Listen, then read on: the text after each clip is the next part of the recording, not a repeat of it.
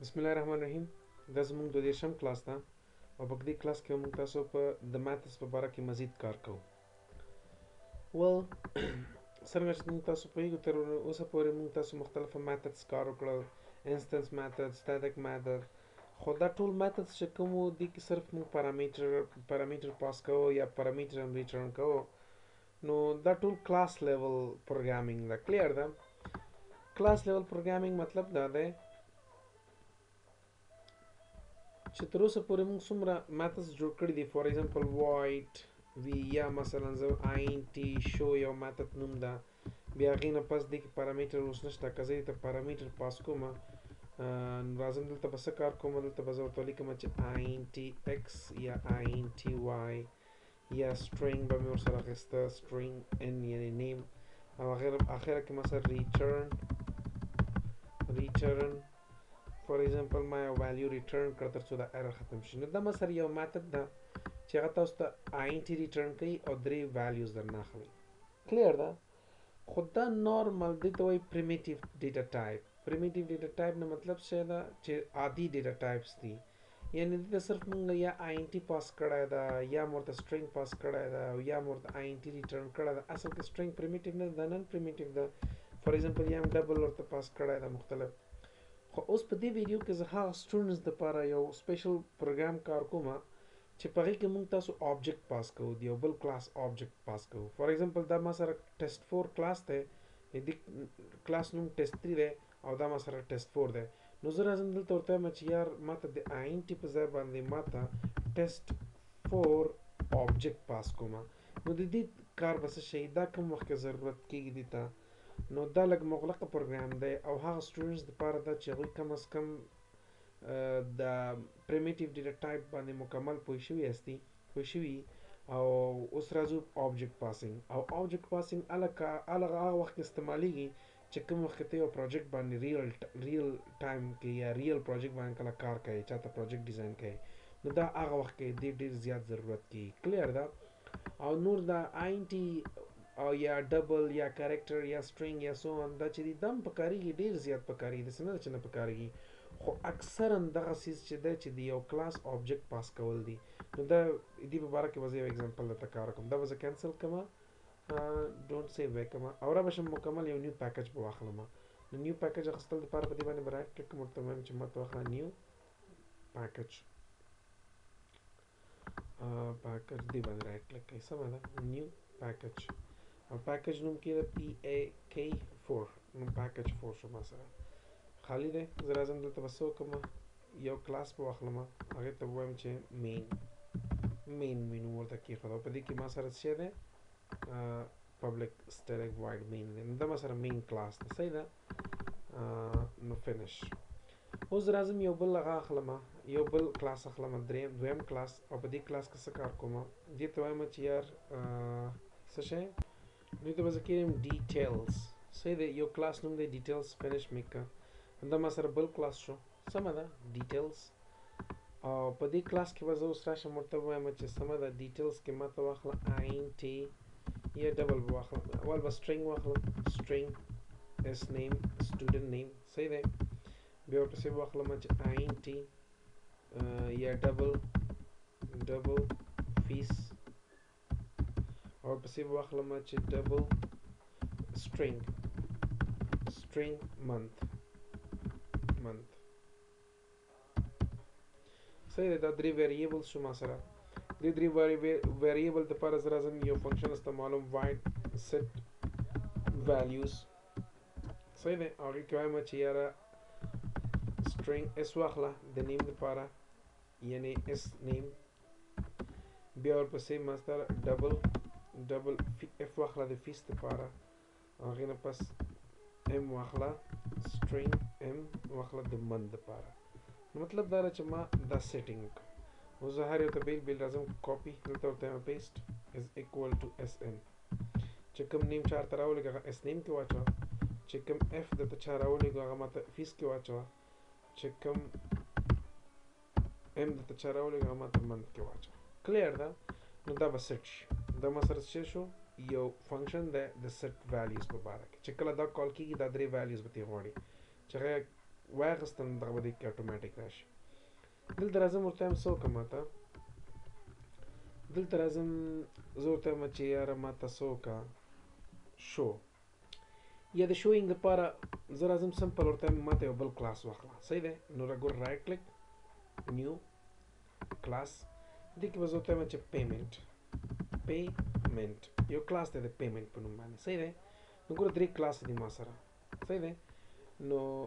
دا درې کلاس په الحال هیڅ ریلیشن یو بل سره نه لري ښا جدا جدا کلاسونه دي ریلیشن نشته دی مینس کې نو دلته به زه راشم ورته ووایم چې بولین بولین پیټ صحیح دی از ایکوال ټو فالس تر اوسه پورې پیمنټ نشته دی کلیر ده دا نارملی فالس دی نو زه ورته وایم چې ما ته څه وکړه په دې کې ما ته څه وکړه په دې پیمنټ کلاس کې ما ته څه وکړه یو فنکشن جوړ کړه د فنکشن نوم د څه شی وي پرنټ ډیټیل ډیټیلز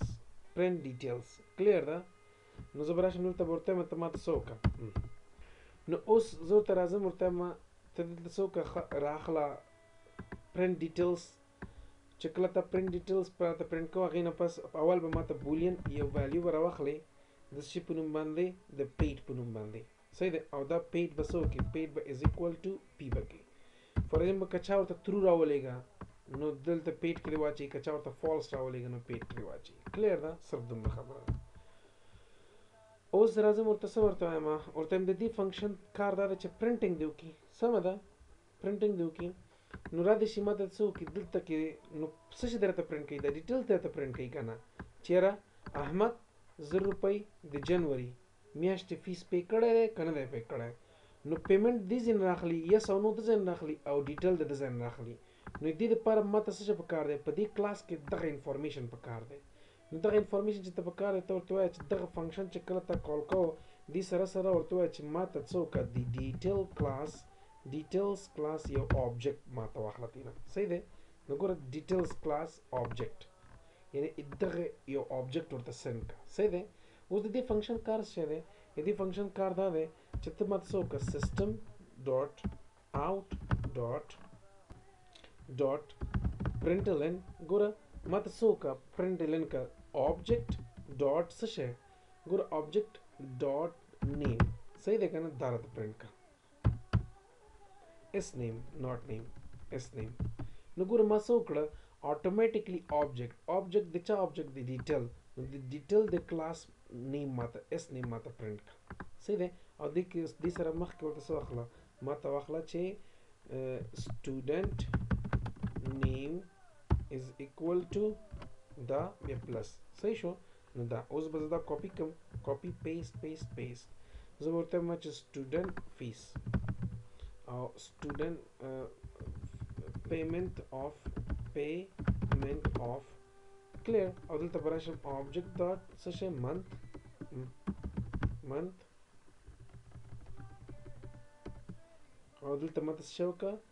آبجیکټ ډاټ فیس کلیر نو دا ګوره دی فنکشن د پرنټ ډیټیل فنکشن کار دا دی فنکشن چیرته دی په پیمنټ کلاس کې دی خو ما ته پرنټینګ د چا کوي د ډیټیل د کلاس پرنټینګ نه سمه ده نو اوس راځم ګوره خلک ته ورته وایم څه وکړه ما ته اوس ورته وایم صحیح شو دا چې کله پرنټ شو هغې نه پس ما ته څه پرنټ کړه اف چک کا چک کا څه شی چک کا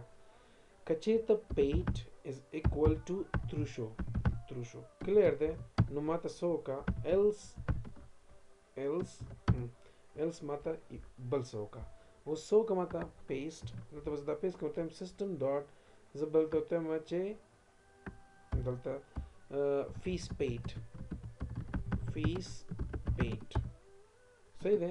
فیس پی دا راته واخله ایلس که نو بیا ماته سو کنټرول سی لاندې پیسټ کا فیس ناٹ پیډ ناٹ پیډ کلیر ګوره بیا ته وایم چې کله دغه فنکشن ته کال کوې هلته به دوه څیزونه درنه غواړي یو به یس نو درنه غواړي بولین پی کې به اچي هغه پی برش دی کې به اچي او یو به ډیټیل درنه غواړي دا به غواړي دا انفارمیشن درنه غواړي کلیر ده سمه ده ګوره اسانه ده اوس زه راځم دلته دلته زه راځم ګوره ښه دلته ګورئ ما په مین فنکشن کې اوس کوډ څومره شارټ دی ښه نو زه راځم اول لیږم انفارمیشن دی ده صحیح دی نو دې ته چې زه انفارمیشن لیږم د دې به آبجکټ جوړوم نو دلته به زه ورته وایم چې ډیټیل ما سره یو کلاس دی ډیټیلز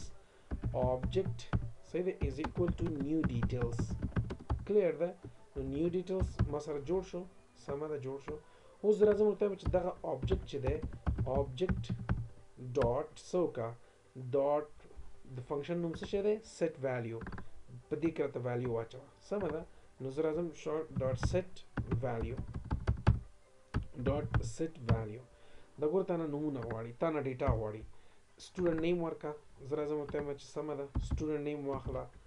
ظریف خان یعنی ما خپل یت ما خپل ته نه فرست نیم ورکا فیس مې ورکا فار ایگزامپل څومره 9000 د ما فیس ده منت د کوم منت د جنوري ډبل کوډ جنوري څه ده دا ګوره دا ما ورک خلاص شو دا ډیټا ما ورولېږله کلیر د چېرته مې ولېږله د سیټ ویلیو ته مې ولېږه سیټ ویلیو کوم ځای کې ده په آبجیکټ د چا آبجیکټ په ډیټر دلته مې راولېږه کلیر ده دیز ته راغله نو دغه ډیټا دلته کې سټور شو اوس زه راځم پرنټ کوم دا ډیټا راته پرنټ کړه نو دا ډیټا چې پرنټ کړي نو پرنټینګ لپاره خو دا دی ګوره پرنټ ډیټیل دی نو پرنټ ډیټیل به دم چې غواړي یس نو اول به دلته یو ویریبل ځان ته جوړ کړي چې بولین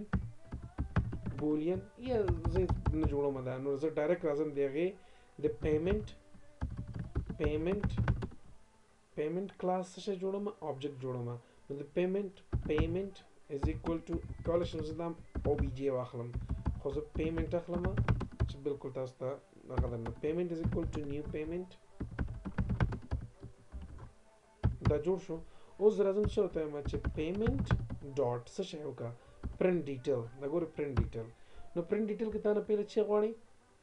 بولین پی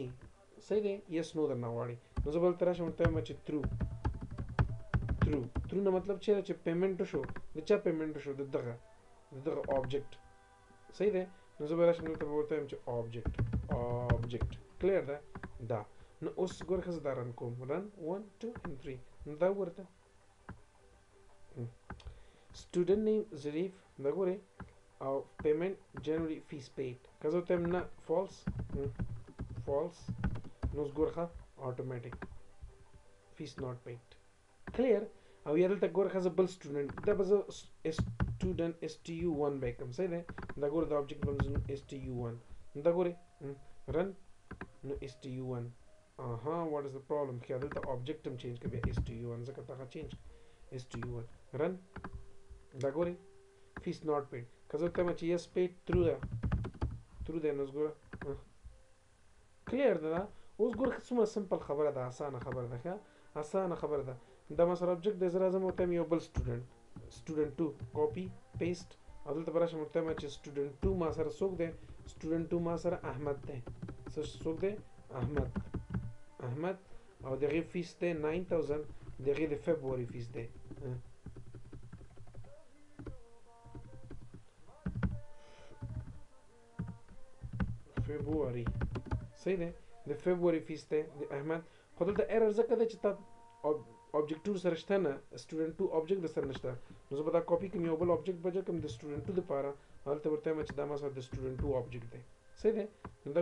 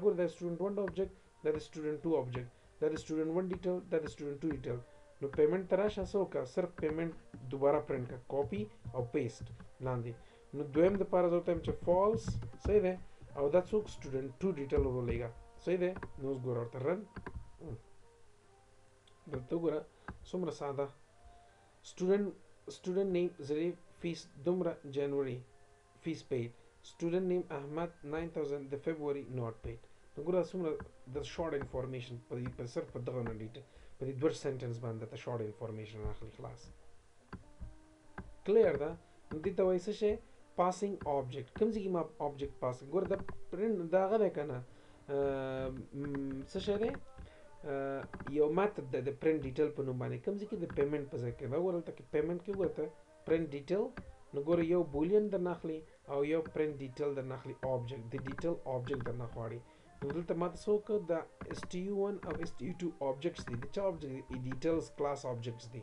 دا ما ور پاس کړ نو په دې شکل باندې تاسو کولای شئ دا د هغه سټوډنټس دپاره دي چې څوک لږ ځان ته لږ وایي چې یاره زه په دې میتدز باندې پوهېږم او دا اسانه دي نو تاسو داسې په داسې میتدز باندې کار وکړئ دا چې کله تاسو پروجیکټ لیول باندې کار کوئ نو داسې میتدز نه تاسو ډېر زیات استعمال استفاده کوئ او یا ډېر زیات استعمالېږي کلیر ده نو دا موږ سره چې میت آبجیکټ پاسینګ ان ا میتد د دې پروګرام باندې کار وکړئ که تاسو ته هر قسم مشکلي مسله یې ته ماته دوباره کومنټ وکړئ او یا یې ماته ایمیل کړئ یا یې ما په فیسبوک باندې ماته سره شیر کړئ خپل پرابلم نو آی هوپ چې پرابلم درته نه وي سمه ده